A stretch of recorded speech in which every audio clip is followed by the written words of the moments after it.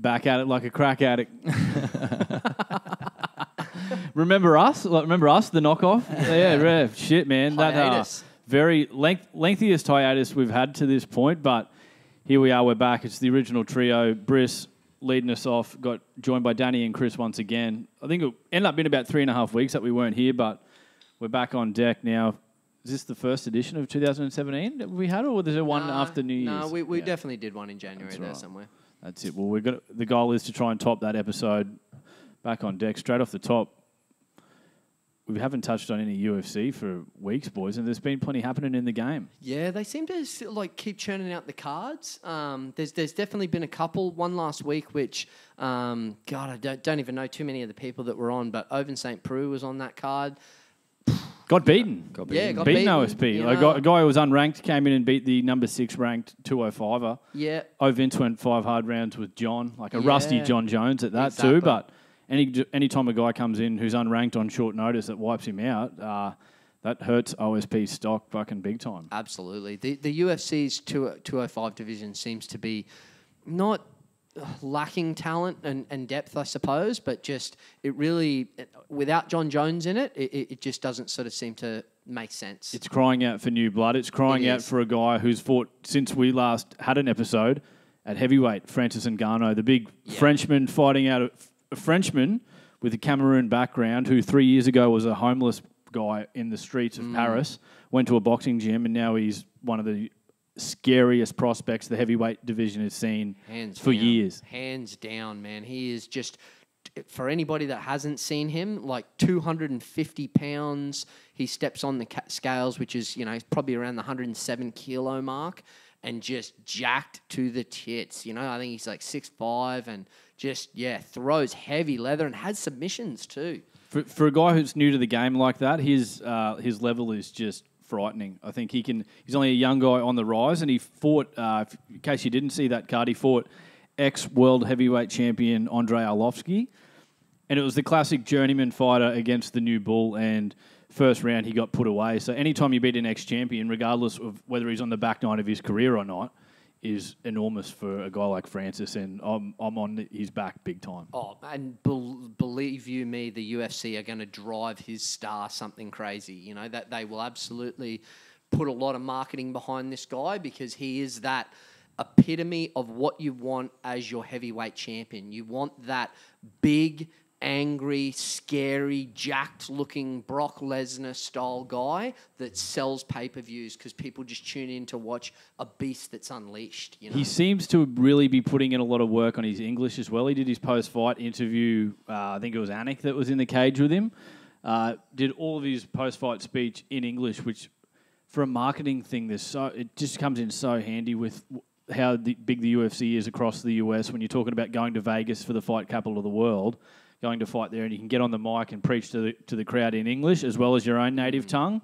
Comes in so handy. Like you look at a guy like Aldo, and that just held him back. I, I feel it held him back big time. Did you hear Joe Rogan was like, uh, I, I don't want him to try and speak English. I want him to come out and scream in French and then just drop the mic and walk out. That, that would have like a guy like that could pull that off too. Yeah. He really would. Like, what what the fuck did he just say? That Yeah. was fucking scary. Can but- you imagine like if it was sort of like back to the, sort of that WWE model where they got someone who was just a big, angry, scary looking dude who was from the Middle East, you know, and and just mic dropped after speaking Arabic like really violently into Mm. the microphone in Vegas in front of a whole bunch of Americans. Mate. Like they could sell the shit out of that because it'd just be like that whatever Rocky movie that was where they they you know the, the the Yanks were currently at the in the Cold War with the Russians or whatever, so they did America versus Russia, Rocky if we're talking about a heavyweight, something. a heavyweight guy from the Middle East, who's to say he's even allowed to fight in Vegas these days? You know what I mean? With that, the way the borders are Oh, going, yeah, G- Gegard Mousasi, um, the middleweight UFC fighter,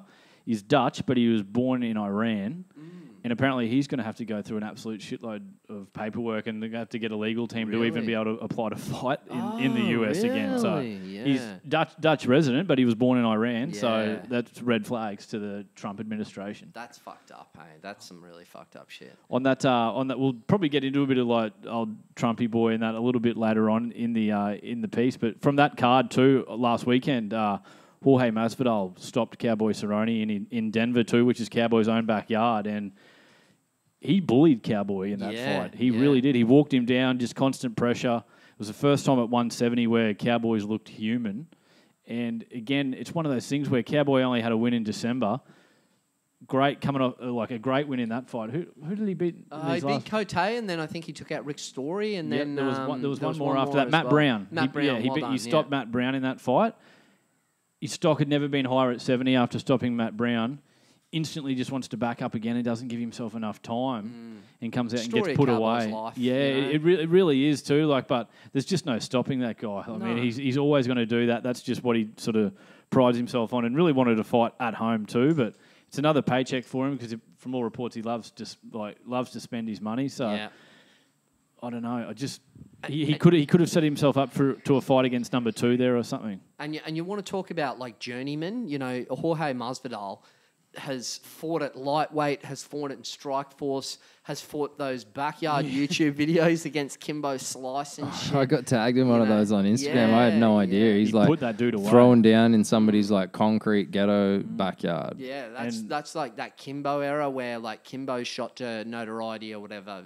Jorge Masvidal like was in one of those fights with him mm. and hung.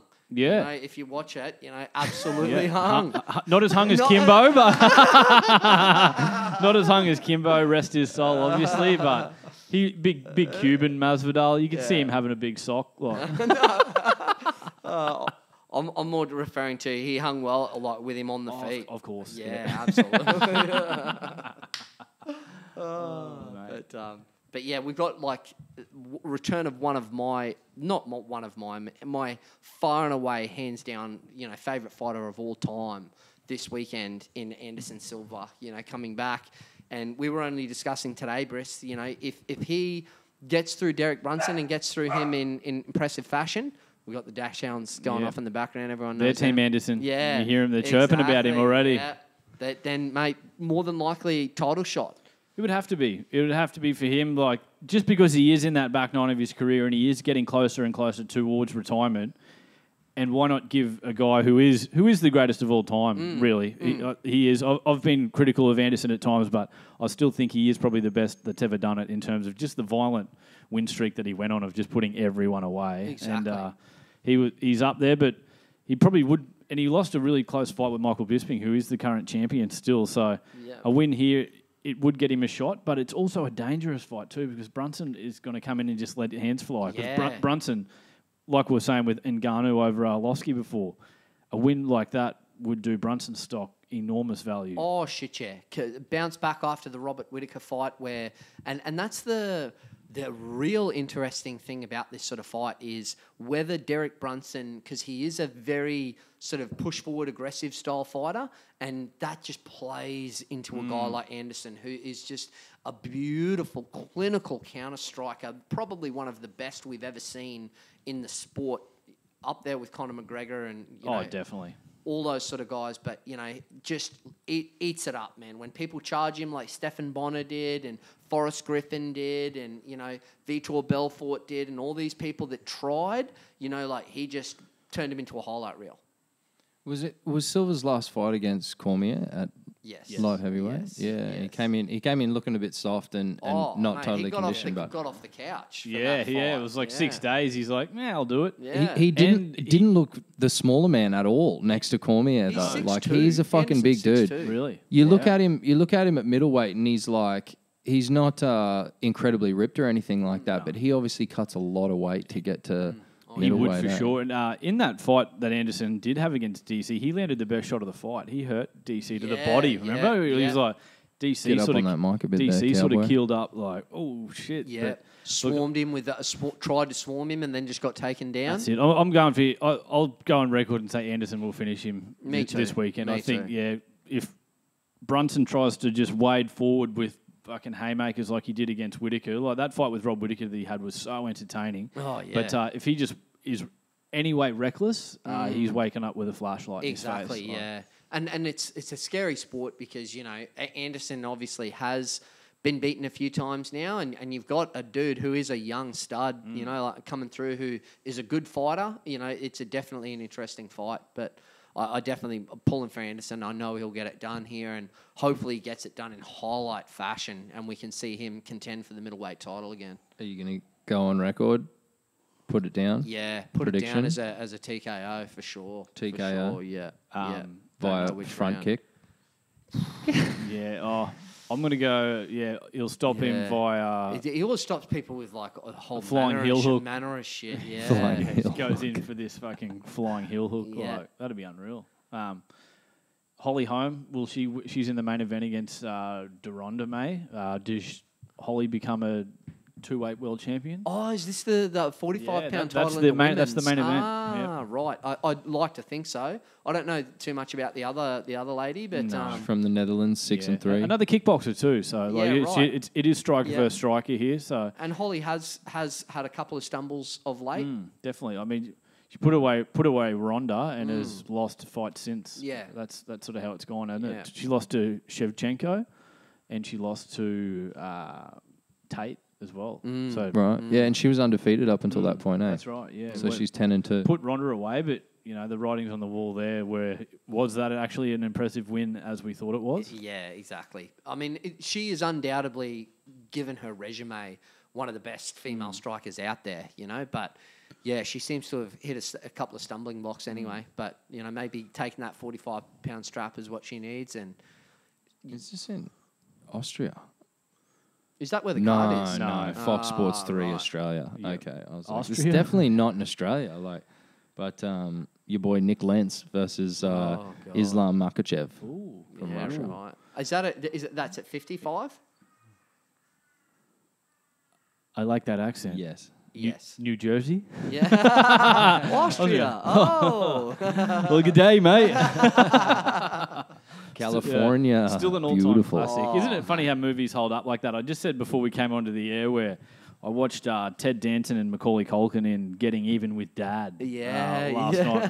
The San Francisco guy who sort of who went to prison and disowned his little eleven-year-old son and. Uh, Comes back with the son ends up extorting him after he commits this robbery and Deadbeat it- dad it's- yes, spec, exactly. yeah. It still just holds up over time too. That was 1994. Well, it's But um, it's funny. Do you have any classics like that where you could just watch time and time again and it would just suit? heaps, heaps, man? I- Shit, Macaulay Culkin for anybody born in the late '80s provided like a lot of really good fucking did. childhood movies. God bless Yeah. him. And that's, that's why I think that even though you, you, you have those conversations sometimes about that you can't really think of anything from your generation that would sort of transcend the next generation. You know how like we like listening to bands of this era and this era and stuff like that. You think about it logically, and bands like Nirvana and um, you know a whole bunch of different bands from this era will at one point be in that league. You know. Oh yeah, well I thought about like um, th- went saw Guns N' Roses last night. Yeah, that's right. How was that? at um, at QSAC Stadium, which is like over on the on the south side of Brisbane City, and it's like it's a sporting complex, so it's um Full it's not stadium really show. conducive to music, yeah, necessarily. But they they sell a bunch of tickets and cram a bunch of people in there. It's almost like you you- No, we were in we were in a stand like s- seated, but yeah, it's almost like you you basically just watch big screens like at the end of the running track because they're they're too small on stage to really Yeah. see. Um, but uh, yeah, fucking Axl turned 55 on um, Axl Rose, the lead singer, turned 55 on on Sunday, and uh, yeah, like it's it's kind of bizarre, like when you're you know you're so famous and all of this creative work that you did was at this certain point in your life, and it sort of snap freezes like that image and the the branding of Guns N' Roses and everything like that. But these dudes are like so far past that they've had like their own internal like you know disagreements and all, all sorts of different shit where they, they'd be on ways. stage like like you could argue for the money and um, it's almost like a like a tribute band doing themselves a little Yeah, bit like yeah, but um right. but at the same time man like hand on heart and uh, and I've listened to a lot of guitar music like in my life and and seen a lot of live guitar music in my life and uh, Slash is is the best guitarist that I've ever seen live just insane I read a, uh, an article today about uh, like the concert from last night. At one point, he did like a massive solo during the middle of the concert. Was that just semi next level? like seemed like imp- improvised like sort of jamish like I'm su- sure it's rehearsed but Yeah. um but yeah that that was kind of what what I noted about it was like you know these hits that they're playing that you've heard a thousand times, like they crack into "Sweet Child o' Mine," and it's all like it. sa- Oh, it sounds it sounds on point, you know, like it sounds like it did back then. But because you've heard it so many times, it's it's it's almost like not a spontaneous thing, even though music is always spontaneous. But then when Slash and like the bass player do their thing for a bit, it's like that's happening there in that moment, and that's like within eye and earshot for you, and you're like experiencing that sort of creative happening of, of Slash riffing with like with you know the bass player or whatever. Did you see Wolfmother? Uh, they didn't play the Brisbane show. Oh, They're right. doing all, all dates except for Yeah, Brisbane. that built They're another one that's got like the same lead singer and, and lead songwriter or whatever who's obviously bought the rights or owns the rights to all the songs and then just fills the rest of the band with session musicians yeah, like right. So they were uh, the other bandmates couldn't put up with him allegedly. Yeah, apparently. Well, he Had a- did, had he'd bit done it. a He'd done a tour with them um, beforehand um, to Australia, like recently, with a whole bunch of session musicians, and, and it got like terrible reviews and stuff like that. Wow. But Are um, they Australian? what was my Yeah. original point? What were we? What was I? Uh, you we're were talking about Guns N' Slash Roses. being the be- one of the best guitarists. No, and yeah, uh, that- it before. was almost like a tribute band being a, watching them do a tribute of themselves. Yeah, I can't remember what question you asked initially, though.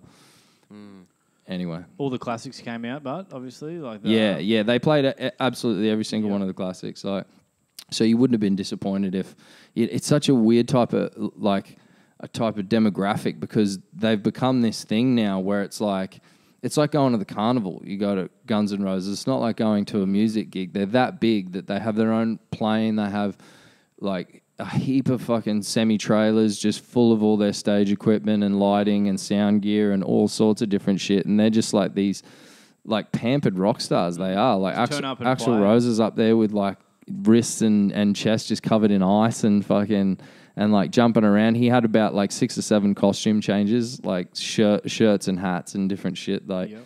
that he changed in and out of.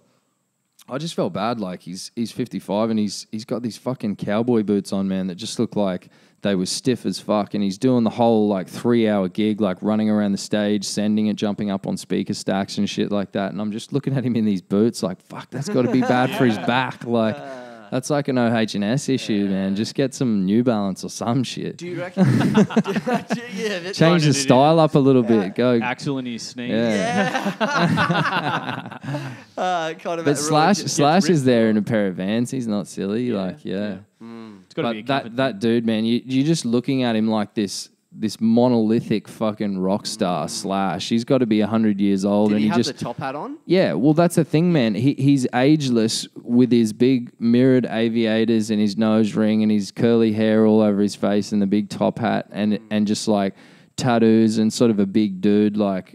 And uh, yeah, it's just crazy to think how how many fucking war stories that dude would have, Oh, like the, the life been. that he would have led. My um, uh, Kyle Stephen, a, a good friend of the knockoff, uh, was the one who who offered me the, offered me the ticket. So um, we went together, and he remarked that um, about um, reading Slash's autobiography and saying that he like back in the day, he'd those leather pants that he's wearing, he'd just fucking spend like six days straight in him. He wouldn't get out of him. He'd piss himself and all sorts of shit. And I was just looking at him up on stage in like the jeans that he's wearing, just thinking about what a what a slimy like, or not slimy, but you know what I mean, like that dirty rock star lifestyle for decades, man. And battle that- hardened. Yeah. battle hardened, you know, like fucking. We're talking proper bottles of alcohol per day. Oh, you know he'd be at the back having a whiskey before he comes out on stage or whatever. Like every night. That's what I was happening. wondering. I was wondering like the sobriety levels of the of the different band members and what they partake in. But um,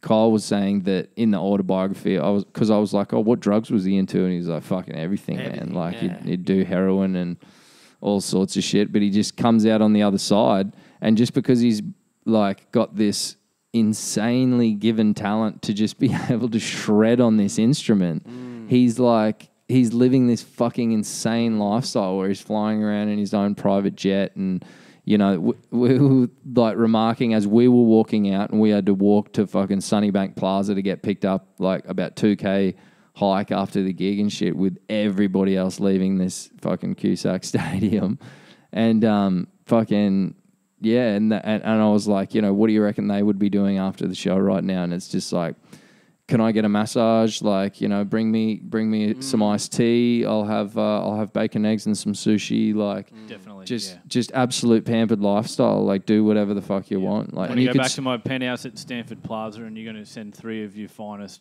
uh, working girls Yeah, blue around, chip- like, blue there- chips, there'd be plenty yeah. of that going on too. Oh, Like without a 100. doubt, without a doubt. But you think about like back in the '80s and '90s and shit, that they would have just had that like insanely thrown at them. You know, like you Yeah. hear you hear of stories of of rock stars going to you know a certain hotel in in downtown Los Angeles because they got a week off tour, and it's just like let's let's get as Bung it many down. like Mm. you know drugs and hotel rooms as we can, and just fucking go nuts. Like it's gonna- and you would have the money too, too. Like all Yeah. those sort of that era of of rock and roll that you're talking about, like sort of that Metallica, Guns N' Roses, you know, all those sort of bands in their prime would have just had so much money Yeah. and popularity behind them. What- yeah, I'm that gonna it say- becomes really synonymous with Yeah. hedonism and just Yeah. like you know to the nth degree, like living out fucking on the Yes. edge, doing doing absolutely every pleasurable thing in the book. Rolling you know, TVs into pools and you know and all that sort of stuff. You know, just I'm going to animal say instinct. it was Motorhead that um, were having a competition they on, on the road doing a the bass player for uh, just as an aside, the bass player was wearing a, a Lemmy fucking from Oh. Motorhead shirt No, last yeah, night. they're all into him. Like Hetfield on when he was on Joe Rogan gave Lemmy like huge props and stuff. But I was I'm gonna say it was that band. It might be one of the like a band similar to that, but from definitely from that generation. Uh, on tour, all sorts of drugs and alcohol each night, and the band members had a competition of who could go the longest without a shower and still get their dick sucked. And there was a there was a Oh. dude dead. One of the guys, one of the band rank. members was at like day twenty three, like just bragging back groupies, like yeah, work it. Just day twenty three, getting around without a shower, and chicks still keen to get on the end of it. Like, Yeah. And, and I Jeez. actually, you know, it's funny, Nah, like the, guilty. the, the male brain, I thought of that when Kyle was telling me about the jeans for six weeks. I'm like, surely he was getting pussy in that oh. time. every, every night, every Wow, night. He could ah. still, he'd still have the pulling of power, like Oh, unbelievable. Oh, that's what I mean. Like I was like, Absolutely. that's fucking disgusting, man. That means he probably hasn't wiped his ass properly for for for a week. It's not glamorous at all. No. But Up there on drugs and alcohol, just farting into his pants, into, into his leather pants. Like, if they were clear, you'd see it fog up. But Just full like sweat dripping from his gooch like during those performances and come eat this ass. yeah, sure. It's yeah. just lining up for the rusty uh, trombone. he would he would, wouldn't even be asking. of Oh, trombones. it would be awful, awful rusty. That's for sure. It needs some some, some fucking WD forty. Brr, brr, brr, brr. God damn. Ah. The You life of a rock star, But though. yeah. How, how incredible! But would I think be? my original point was like the aging rock stars thing. You know, like how it's kind of strange now to see them all at 55 and they're mm. and they're so and they're they're past that lifestyle now. Mm. All of them would would be like you'd think living more turned down lifestyles Definitely. as the um as the effects of aging and stuff like that became sort of more. You know, you became aware of it in, in your consciousness. You know, every day you're like, oh, this is you know getting harder and harder and more painful to live. Yeah. We. Got got Frank That just uh, awesome protecting the To house. listen here. to, folks. Sorry about that. um, but on on that sort of like I guess line of if you had a, like a pill for you know which was the fountain of youth or whatever, and the toll on your body and the physical sort of repercussions of that lifestyle didn't matter because you could you know maintain your your health and longevity and youth and all that sort of stuff. Would you live that lifestyle pretty hard? Do you think? Like if you could? Live the like the partying lifestyle, yeah, but still, um, yeah, like just get get rotten, rotten drunk, and just get you know absolutely to the gills on sort of all manner of things, and you just never have to pay the Mm. consequences for it. Because So if there was like no ever any hangovers or come downs or oh anything? no no no, Uh, there no, was, still but they just had a longevity pill, basically. Oh, Yeah, okay. yeah. Um, No. if you had have asked me five years ago, I would have said yes, but now, no, Yeah, no, d- exactly. definitely not. It would be Different hand- priorities. handy to know if you did have that sort of that sort of blowout effect where it wasn't really going to do any damage. But um, yeah, no, still, still probably wouldn't. Uh, I wonder if um if like an extremely large amount of money would change that. Like if you became really really wealthy and you just started sort of consuming more and and Yeah. working less until you were just like oh like and then you just got that that snowball effect where all of a sudden you were like you know had a room full of hookers doing blow with Dan Bilzerian or something like that. Well, that's it. I mean, imagine having like multi Dan Bilzerian sort of money in the bank that you would, whenever you had your, your friends over or, or whatever, if it was even remotely dull, you know that you could jump on, make one Generate fun with money. Yeah. yeah, one phone call and you can have you know fifteen you know blue chip blue chips there plus a, a big bag of yay and you know like and, and just fucking lot of That's hook- gonna lot of that's gonna be the title. That's gonna be the title of this. Uh, Hookers in a big bag of yay. no, it wasn't even hookers. It was blue chips Yeah, in a blue big bag of yay. Episode twenty-two.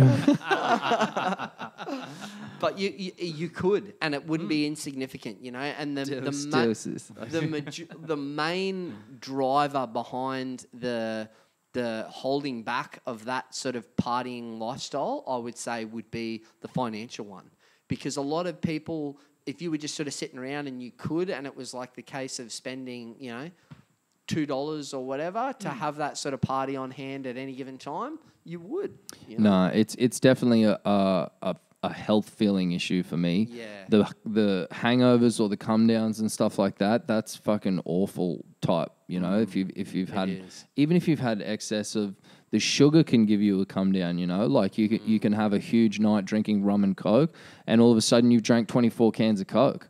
Mm. You know, oh, and, and you would never do that on a regular night, and then and then you're having all sorts of withdrawals the next day, and it's just oh, it's uh, like too too taxing for me as I get older. Like as a, as a younger man, like you say, Briss, I was, um, you know, able to hang more, but um, I guess yeah, it's like like the aging process. It it happens to everybody, and you can't sort of aim up as hard as you as you could back in the day. But you know, the likes of Dan Bilzerian, he's he's sort of mid thirties, pushing forty almost. Like so, you can you can redline your body, and some and some people just have that capacity. You know, I've I've known people's fathers that have been, you know.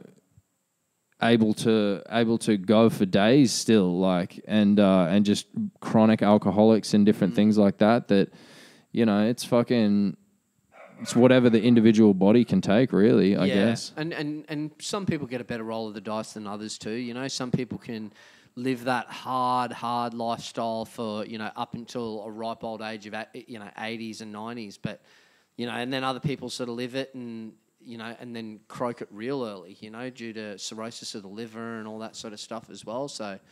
You definitely Murdoch, Murdoch, the liver, liver, liver. was hospitalized with cirrhosis of the liver, liver, liver. Simpsons quote for everything. you had um, said off air you had an animal intelligence tale.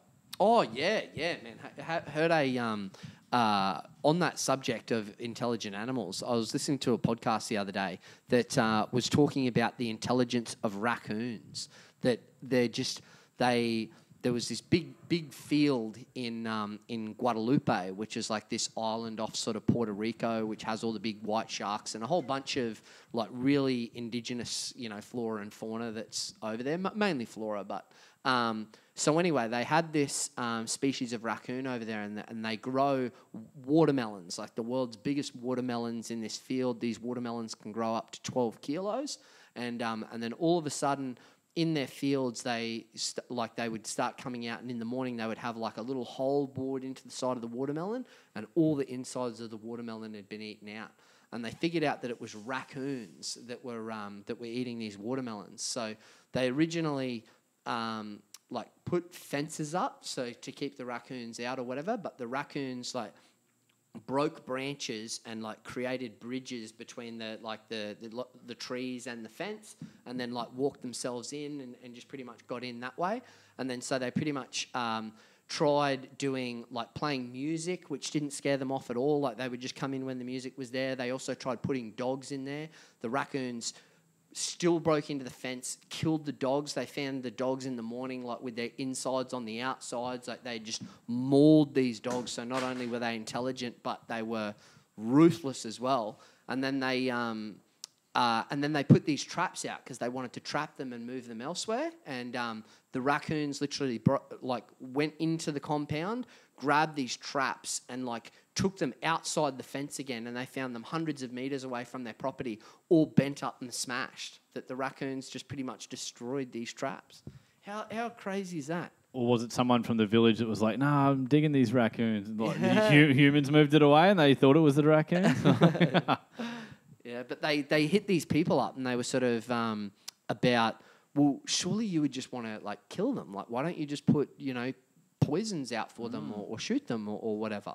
And like because these like the the native like Guadalupean people or whatever just see the the raccoon as like almost like a, a national sort of like animal sort of thing. Mm. They're like, well, why would you do that? Like, they didn't even understand what they were talking about when they were talking about harming them. They were just like, they're just eating the watermelons, you know. Like, sure, it's one third of our profits, but it's not worth like killing these mm. animals over. I think I've seen a video of a, a raccoon like attacking some dude's dog, and then the mm. dude comes down to defend his dog, and then the raccoon attacks him or something like that. They're pretty fucking gangster, those yeah, things. yeah, they would be real Yeah. gangster, real gangster. Somewhat similar, maybe to sort of possums, if you had to draw some sort of parallel to an Australian animal, but they Yeah. They're like crafty as fuck at, at jacking your, your veggies and stuff like that. Mm. If if you grow anything in the backyard, but and and people like poison them as well. That's well. true. That's true. Yeah, uh, I think if you ever watch it like any form of cartoon, the raccoons, maybe it's because of that black stripe over their eyes, but raccoons are always the bad guy. Yeah, You know, like they're always the Villain. like the villain who's like you know. There's robbing probably there's someone. got, there, there'd be something to that though, you know. Like it's like the hyenas in the fucking cartoons Yeah, are always, always the the bad guys. the the pack sort of scavenger, like Yeah. coward type hunters and shit. Yeah. How and sick, uh, that's um, indicative of their nature. South Park have a uh, an episode, a two part episode where Cartman is on there and he dresses up as a he's the superhero. He's like the anti villain sort of thing, but he dresses up as a raccoon. and you know how they just tiptoe along like the walk a very fine line. Those guys. His big his big thing is like every town needs a hero. Every town needs a coon. Like, like, oh, such a slippery slope from those guys, but they just do not give a fuck. You're do they? right, man. They absolutely make a, a complete career out of walking that tightrope between inappropriate What's- and appropriate. Would they have an enormous uh, legal administration behind them? like they would, they would have they to have the elite of the elite going into bat for them, and it would almost be a fun job as a part of that legal team. Like, all right, what are people going to come up with us Yeah, now? yeah, because and- we know there's something coming. There's there's an interview with them in, in some fucking doco or show or whatever where they um, hit him up about that and and they to use the example that uh, the episode that they did where Tom Cruise wouldn't come out of the closet, they, Yeah. they, they pretty much you know said that they had to run that past their legal team and, and were pretty much like, well, you can't, come out and just call him gay, like de- definitely don't come out and just call him gay, you know, but um, can we say he's you know he's this that and the other thing? No, you can't say that. Could we say that he won't come out of the closet? Um, yeah, I suppose you can say that. You know, like I mean, Well, when um, Isaac Hayes, the uh, um, chef and uh, and soul singer as well, like um, turned Scientologist, he uh, he like as part of an outcry, outcry against the show or whatever, like left and, and was the voiceover character. So they just spliced up all recordings that they had of him in this last episode and made him like. He had been kidnapped by a bunch of child molesters, and they were into molesting children. And then, the, then at the end, they kill him with like wild animals in a pit and like tear, Yeah. tear him to pieces and stuff. Portray like him as a pedophile and then just tear him to pieces. Bad. yeah, because he left. Like, he's only been working for him for 15 years or whatever. Like, nah, I- I'm out, guys, under the bus. Like, and it's like it's obviously edited with that sort of stop start footage, like Yeah. stop start audio. So Yeah. they've done that on purpose to say this is what we've done. he's always like he was always the the like romanticist in there. So he's got heaps of songs about making love and stuff like that. So he'd be like, "I want to make love to your children." like, like, oh no, no. One of, one of these funny bits out of um, Family Guy that I only watched. I watched a couple of early season uh, episodes of Family Guy the other day. He was there. Peter Griffin goes for this uh, for a job interview, and he's sitting there and he's like the fella interviewing is across the table, and he's got all his desks set up, and he's got like photos of his family and stuff, and he's like, "So Peter, if uh, where can where can you see yourself in ten years?" And he's like, you see his like brain just start working. He looks at the family photo, and he's like, it's got his wife and his two children there, and he's like, "Don't say doing your wife, don't say doing your wife," and he goes, "Ah, doing your doing your son." I was like, uh, th- this interview's over. Have a guess at what um, Trey Parker's worth, his net worth. is that one of the South Park? He he's the main Trey. Trey is the main sort of uh, craftsmen behind it. I think M- Matt Stone would have a smaller share, um, but bounce Two hundred mil. Thirty or forty. three fifty. Ooh, Oh, shit, I knew it'd be really? big. I thought I went a bit That's over there. huge. Three fifty mil. That's so big. They're, they're still selling out years later. They're selling out Broadway every night for that Book of Mormon that those two wrote. Like they're still Right, right, through all the right. Comedy Central. They're up to season Wow. twenty-two. Of South Park. yep. Oh, so So- they're still making them. Oh, Yeah. wow. Matt, Matt Stone's wow. worth three hundred million. he's Oh, not. He's not too far Wow. behind. Yes, that's incredible. Yeah, man. That is incredible. Talking almost a billion-dollar industry on the. Uh, on the back of just goofiness, Mm. like on the back of just straight, pure, fun imagination. You They know? would have cut so many corners early on with the uh, illustrations as well. Like so fucking yeah, basic, man. yeah. Little cardboard cutouts just walking into their primary school. Uh, Pretty pretty simple. Yeah. Well, they're 47 and 45 now. And, um, you know, like that movie BASEketball, I think, would have been somewhat indicative of probably their high school experience of being the outsider and not like accepted and being kind of a bit of a Yeah, loser yeah, playing yeah. playing Nintendo still at 19 or, or whatever. Like They've got um, they're having the last laugh. yeah. 350 million? yeah. Yeah. That's Dan Bilzerian That's- and some. Oh yeah, that Yeah. incredible amount. That's lifetimes of cash. Oh, yeah. You could never, ever spend that much Give money. us a uh, look at um, Matt Groening. What's he? Uh, the Simpsons head guy. What's he? He'd be more than that. Oh, I'd say. He'd yeah, have. He'd, he'd be. be eight. I want to say seven hundred. Maybe. 500 million. Ooh, South Park keeping like. Shit. God Uh, uh they're 150 million dollars behind him, but in the scheme of things, it's That's incredible. And- and- 500 mil. And imagine like like uh, what I was saying before about the you know off just pure fun and imagination. Imagine having that imagination hmm. where you just come up with that sort of rude humor always, and you can come up with it beautifully timed and well written and well scripted and. Just like imagine even being like a guy like Roald Dahl and just being able to sit down and having that much imaginative content that just comes through your head all, at all times that it, you've got like an endless supply mm. of it. You know, mm. it'd be nuts.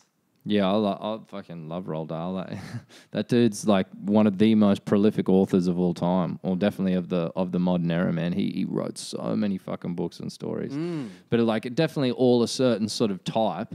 Like I was even, I think I was at the grocery store the other day, and there was this dude there that was like straight out of a Roald Dahl novel. Eh? Like had like all the nostril hairs coming out, and I could just like I could hear the Roald Dahl cadence describing this guy as I'm looking at him, like the BFG or something. Like, That was a good read. That yeah. Oh, I think they just made like a Hollywood movie, didn't they? did they? Yeah, True, like yeah. a kids movie. How how much would he be worth? Roald Dahl. Roald Dahl. Oh, Well, I it'd be guess his it'd be family his, now. yeah, his, Yeah, his empire sort of thing. Forty-five thousand, like Probably, back in the day. probably not very much, man. Like, because in the early days of him selling his books, he'd sell probably more books now. He- He'd make more from his books now, surely, in death than. says 10 million. Yeah, exactly. Yeah, I wouldn't have thought it would have been. yeah, back when he's selling books for a dollar eighty. Oh, and shit like that, exactly, mate. Exactly. He'd have probably just been, you know, paying his paying his wages. Hmm. That that's, you know, he he he he's dead now. But I mean, he would have. I mean, I think we've talked about that maybe on a previous potty, but where he's like well in his eighties or something when he died, and he's already gone. Hmm.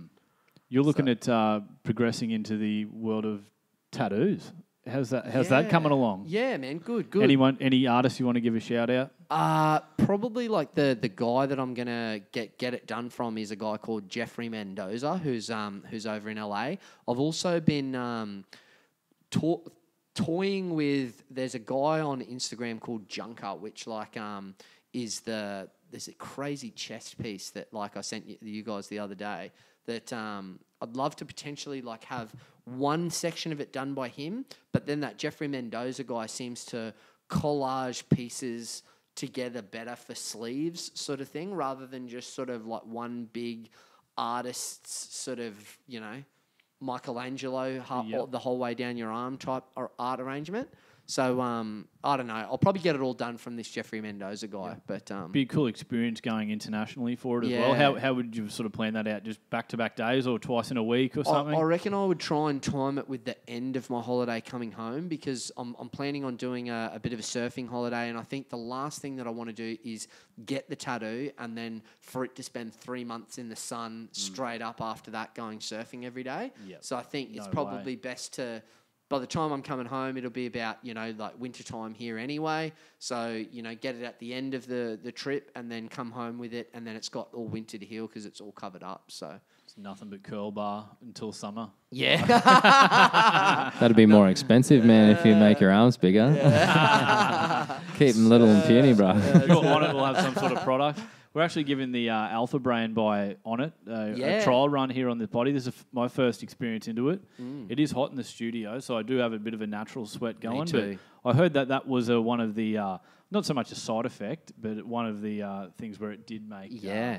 if you're a sweaty bloke naturally, it might enhance that a bit more. But and and for anyone who doesn't know what we're talking about, it's it's it's like a nootropic or something. I think they call it. which- Alpha Brain rubbing their fucking hands together right now, yeah. son. So if you're, look, if you're looking for Yeah. a sponsorship, shout out, knock off, hashtag us, and we'll uh, we'll hook it up. Chris is already sponsoring you guys with definitely. pretty much Yeah. every product on your Oh, website. yeah, yeah. Hey, yeah. Absolutely. Hey, Aubrey, Chris here bought your uh, family's Christmas presents for this year. Dick liquor. you can thank me later, Aubrey.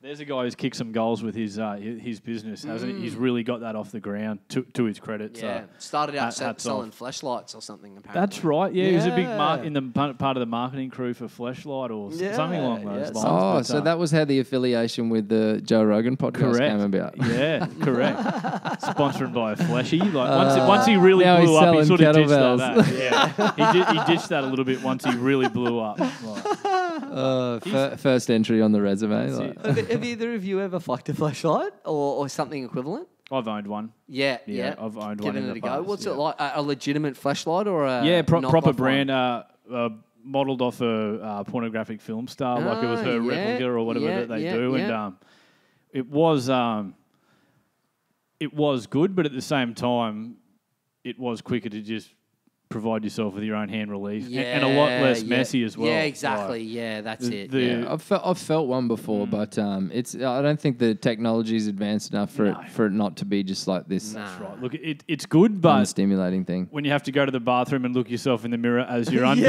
as you as you're undoing the screw cap, like uh, there's not a whole lot of eye contact going on. That's for sure at that time. So it is more just convenient if you are just looking f- Cleaning for that stress relief. sink like, and shit. Like, that's it. ah. Uh, yeah. yeah. Like, uh, Look what? at look at yourself in the mirror. You're better than this, man. yeah. just get get to that Tinder account, man. Like just start start chasing. Like, This yeah. is pathetic. You're slipping. Oh, and we, we were only discussing that the other day as to just how funny it is that, that guys are really that sort of type of human being that really. Oh, actually, that's bullshit, man. Did you know that the, the vibrator for women was originally invented by um, like psychologists to uh, to cure hysteria in women because they yeah absolutely They just needed a good dicking. that's it, man. Yeah, look that up. It- the- the- they um they absolutely used to, they invented the dildo to um to cure women of hysteria, who which is like this condition back in sort of I suppose the early nineteenth century somewhere. Um, and and yeah, just needed a good dick in. Like they just you know gave him a good going over with the the dildo or whatever, and that was like the treatment for this hysteria at the time. Classic. But ironically, men's sexual pleasure was the furthest thing from the minds of the male doctors who invented vibrators almost two centuries ago. They were interested in a labor saving device to spare their hands the fatigue of they had developed giving hand jobs to steady a stream of 19th century ladies who stu- suffered hysteria, Yeah. a vaguely devi- defined a- ailment easily recognizable today as sexual frustration. So that all these se- seedy Uh, doctors just invented dildos so they could just be like jamming these birds like as treatment. How, how fucking Far how out. funny is that, man? Like, the, and and considering how widely used dildos are in, in today's you know in today's world. They complain to doctors of anxiety, sleeplessness, irritability, nervousness, erotic fantasies, feelings of heaviness in the lower ab- abdomen, and wetness between the leg. This is the syndrome that became known as hysteria, from the Greek for uterus. yeah. Crazy, crazy. So mm. it's like, yeah, it's it's it, it's intrinsic to the biology. It's like mm. everybody needs a good fucking. Yeah, exactly. It's like this is the medicine. You know, that this is a condition. We've got a problem with it. You know, let let's create a dildo and let's you know wail on these birds and and and, and, and problem solved. They've been medicated. Uh, I've got what ails you. Like, so arrogant. It's like it's so oh. indicative of men's like fucking psyche to the world. You know what she needs? yeah, yeah, yeah. Invented by a man. Oh, No surprises. Yeah, no Yeah. surprises there. oh, it's so funny. But yeah, I mean, uh, in I guess you know the that crea- sing, creation pretty much single-handedly shaped masturbation for females.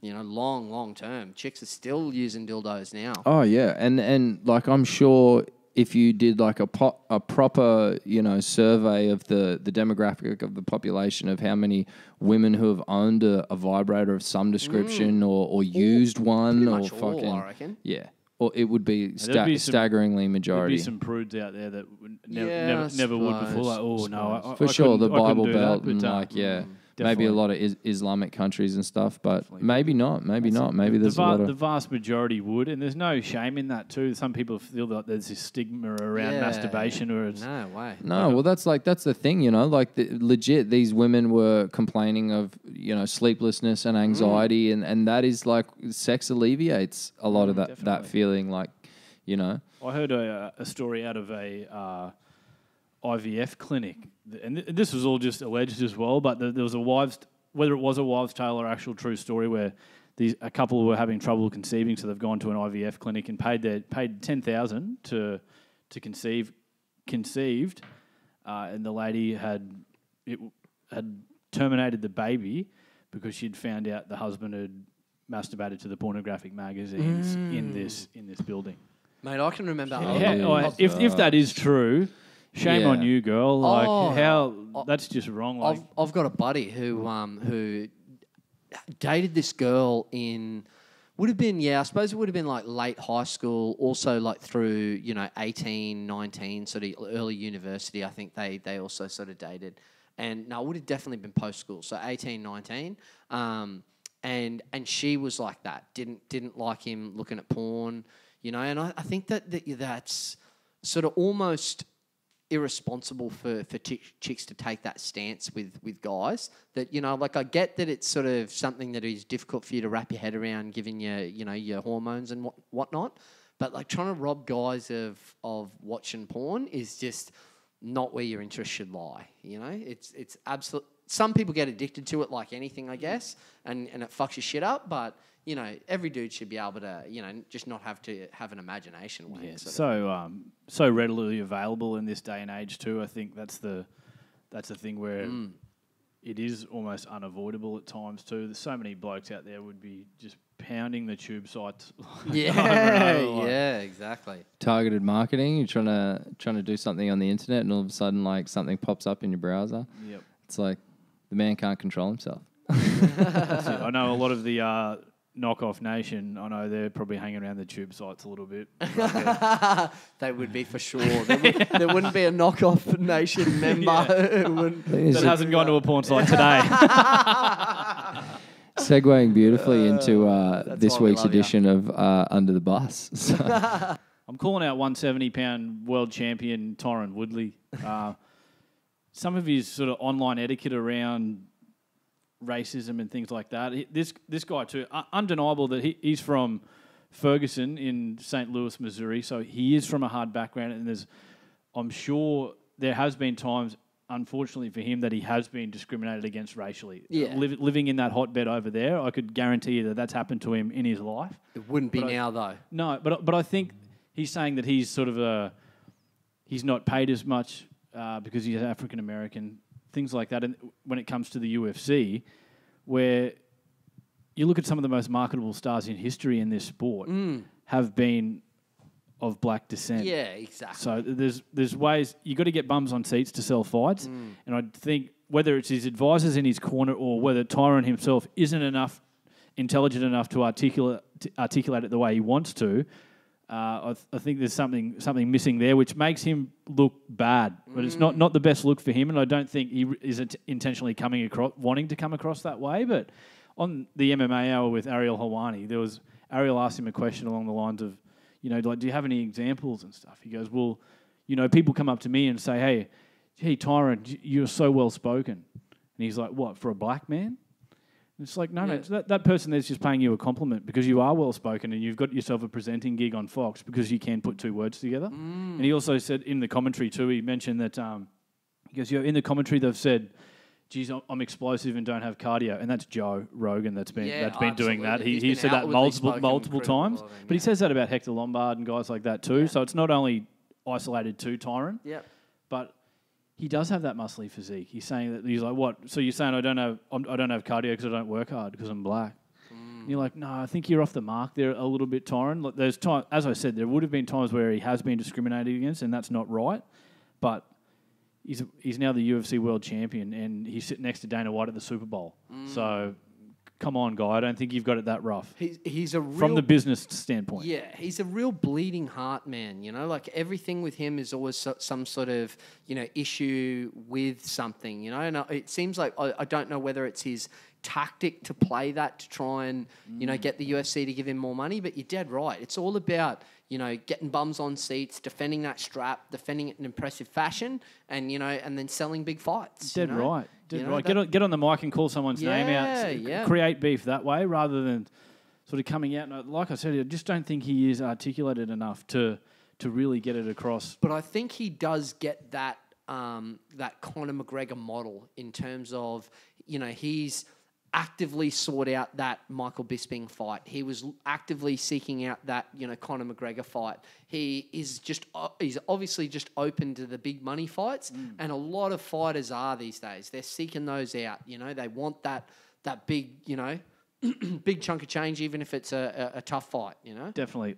Put it this way, he's got me because I'm tuning into his next pay per Yeah, view when he's yeah. going to fight Wonderboy Thompson, so mm. I can hopefully see Wonderboy sleep him. You know what I mean? Oh, So he yeah. buys in. Whether people either want to buy fights because they're supporting the person, or Exactly. they want to see him get their ass kicked. That's sort of Yeah. how this combat sports work, isn't it? Oh shit, yeah, man, Um, absolutely. Did you on, on combat sports as well? Before we get to you under the bus, did you see any of Mundine Green for all those Aussie combat fans out there? I, I watched the highlights. I didn't, you know, care about it enough to, to probably tune in and watch the, the pay per view or Mm. Anything. Wasn't but- getting my sixty bucks. Yeah, exactly. Yeah, so that they they debated the decision, but what was more sort of uh, of a standout for me in that card anyway was that. As I don't know if, you, if you've seen the photos online, but you know that Quade Cooper and and who Jack Innes or whoever the fuck he fought on the undercard was just a disgrace. You know that that's what's wrong with boxing is that they pad out records with these nobodies like Just they crush mismatches. yeah, miss horrible mismatches where they just crush cans for about 15, 20 fights. Yep. Just to get that 20 and 0 record because you kind of you need that Yep. to be able to sell fights. This the Jack, Jack the who got put away by Quade in the first round. Kyle Stephen has got a bit of a history at a boxing gym in Brisbane. He showed me a fight. He came over to watch the Super Bowl on Monday and showed me a fight of Mark Bam Bam Flanagan, who trains out of his gym, who's now Australian champion, Right. hitting Jack Innes to the body at Mansfield Tavern with this body rip that just put him away in a second. So that guy has fought an Australian champion. As you're talking about padding records, I love having a bet every now and then on sports. So I like to like put put together a multi from that card. Out of out of the fights that were on there, such a fucking joke. The fact that they had um, six or seven of the fights, the favourite was paying under a dollar oh five on the tab. So if, if you're putting a dollar on, you're getting Getting five, five cents, cents. back. Oh, So just gross Why- mismatches why like you that. bother? Mm. You, couldn't you couldn't have a bet. Like I ended up having a bet on the Green Mundine fight to not go to a decision, so I ended up doing my dough there. But that was about the only variety that you could have on that on that card in general. No one particularly got like badly rocked in that fight, did they?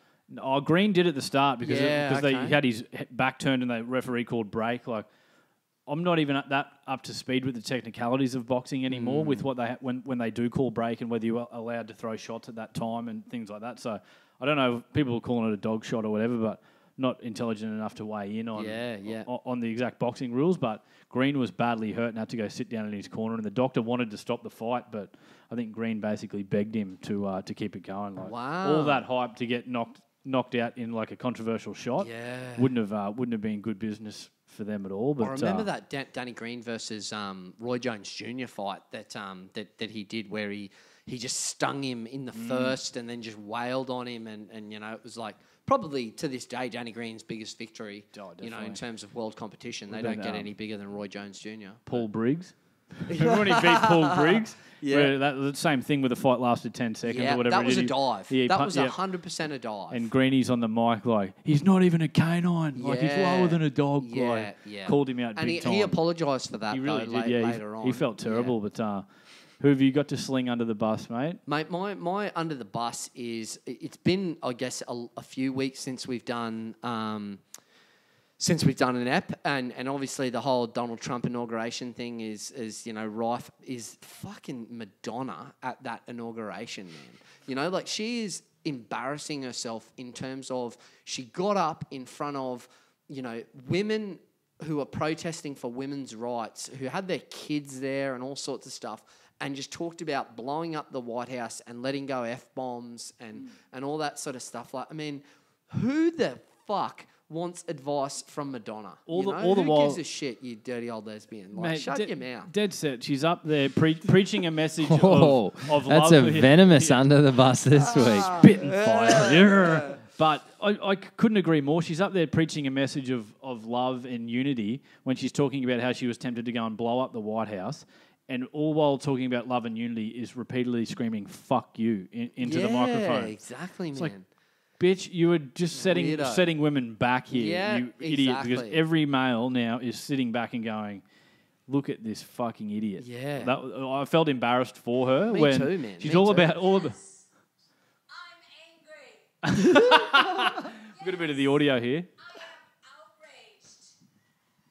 Yes, I have thought an awful lot about blowing up the White House. Yeah, dumb, dumb bird. Like, I mean, look, I'm, I, everyone knows she's kidding, and and it's not a case of you know that you actually think Madonna's legit in blowing up the White House, but that's what you prepared. Mm. You, you you were asked to you make make a speech at this this rally or whatever that you had put together, and that's what you sat down with pen and paper and thought of to Mm. write to say to a bunch of people. Like how like incompetent. Yeah, I think it's it's just like the in, inherent problem with putting entertainers on a on a political pedestal. It's like these people we're not we're not they're not mega rich and, and popular because of their political or social views. It's like she's known for gyrating her ass like to pop songs, you know. Yeah, she she offered free blowjobs for Hillary voters on her Twitter during the campaign. Yeah, And you're talking about women's rights when you've just when you've just objectified yourself to males out there saying.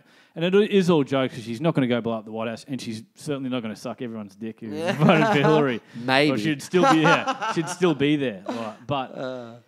just I, yeah, I I felt embarrassed for her, and I thought it was one of the most cringeworthy moments where you look at some of the most powerful women in history, like the Mother Teresa's of the like, who would just be rolling in their grave hearing just mm. fucking stupid Yeah. talk like that. I think it's just such an interesting time, and like a, a character like Trump, he's such a polarizing person that, you know, the extreme shit that he comes out with makes the extreme opposing views come out at, to the nth degree, you mm. know, and, it, and it, all of a sudden it becomes this real sort of hectic argument that's just divided along along really sort of deep lines of gender or culture or whatever it may be. But yeah, it's it's uh, it's an interesting time for for the human human race on this on this planet that we live in. Like Definitely. with um with such a polarizing character at the helm of, of one of the biggest superpowers in terms of nation states. The biggest. The Yeah. biggest. you Even know? even I was reading today about you know people now sort of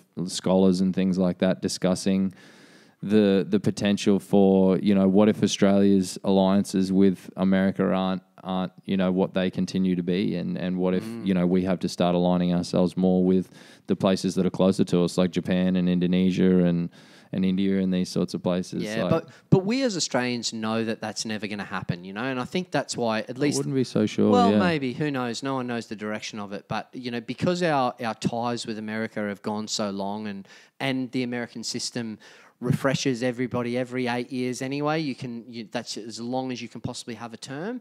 Is no president. You know, is is going to completely burn those bridges with Australia. You know, and Australia just know that that the, the thoughts of Trump don't necessarily reflect the other 350 million. Yeah. You know. The interesting thing that like what I was reading today is though what is is is sort of you know Trump's very he's he's a business minded person so it's very much transactional. Like if, if what's in it for us if if Mm. we're doing a favor to you?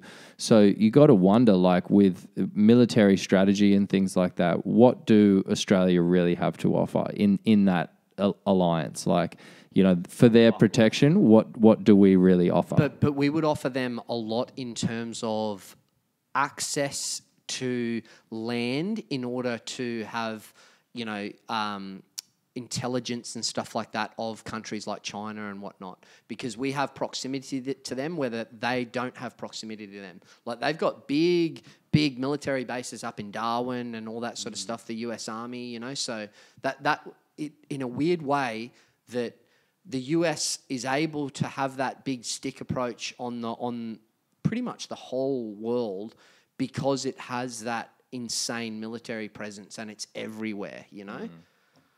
Yeah, yeah. This article is talking about you know the potential for Australia to increase its its uh, military budget in order to become more of a you know a help to the system. But it's like uh, even even if we do, we, we still pale in comparison. You know, we, we Yeah. we're basically the you know the little little step kid or whatever that that just needs to be carried. Yeah. The old President President Trump left the Super Bowl at 28 points to three. He's a big Patriots fan. and Falcons leading 28-3. Pack up the cars, boys. We're out of here. I'm not going to see him go down like this. Come back and won. Missed it. Oh, Mark really? Wahlberg, huge Patriots fan, being the Boston guy. He Called left. him out? He left. Oh, He's he like, did. no, fuck this, Ah. man. This is too hard to watch. Like, I'm not going to see him get flogged. Spewing. Yeah. Left. Missed the greatest comeback of all time. Yeah, Yeah. that was You'd some be- you'd electric. be- Definitely a shit, lot of man. people leaving Guns N' Roses last night before the encore, which which contained most of the hits. Like for, Right. Really? for like a, the biggest portion of the um, the set, I didn't know a lot of the songs, and then uh, they went away and came back and did like a, a four four song. Um, encore that was like you know Paradise City, November Rain, right? Just, Oh, just yeah. smashed it. A lot of uh, a lot of people left. Like they didn't even fucking Yeah, play the hits. Like, yeah, that's all I you'd be came Yeah. for. furious. Patience. They um, Oh, Patience. Patience. they yeah, uh, great. they finished with Paradise City and like all all fireworks went off and everything. Like stadium gigs, like uh, uh, like I ripped on them a little earlier, but you know they're they're a different entity. Like and it was like going to the carnival, and it was like it was legit. Props to Slash. Mm. Those boys would be tearing it down again tonight. You know, then Sydney get then Maybe get the massage and sushi afterwards. Yeah. Definitely. They they just literally one night, I reckon, in Brisbane. The next night they'd be somewhere else. Next On night their own plane, yeah. Yeah, They got yeah, a Guns N' Roses yeah. plane. They had footage of it like touching down in Brisbane and Yeah. shit. Big logo on the back. There'd just be those that ro- that like you were talking about before that full roadie crew that were driving you know like three B double semis and and as soon as the, the gig was over and it was packed up they'd just be like you need to get this rig to fucking Sydney ASAP Yeah. you know like I dr- reckon- drive it through the night get it there in the next 13 hours you Here's know? some of Sa- uh, here's some of Slash's gas. yeah. Thanks, Slash. episode episode 32 that's going to be us fam. Fucking private jet by by 10 more Yeah, eps i reckon. Definitely. who's your under the bus Danny? Uh, i'll finish on a positive note rather than uh, throwing Nah, nah, somebody fuck under their negative. man, so you're on the under the bus next time but yeah thanks for having us fam. We'll uh, we'll bring you some more content soon. We've got a few guests lined up but uh, we'll keep you in suspense till then. Be good to each other. Peace. Bye for now.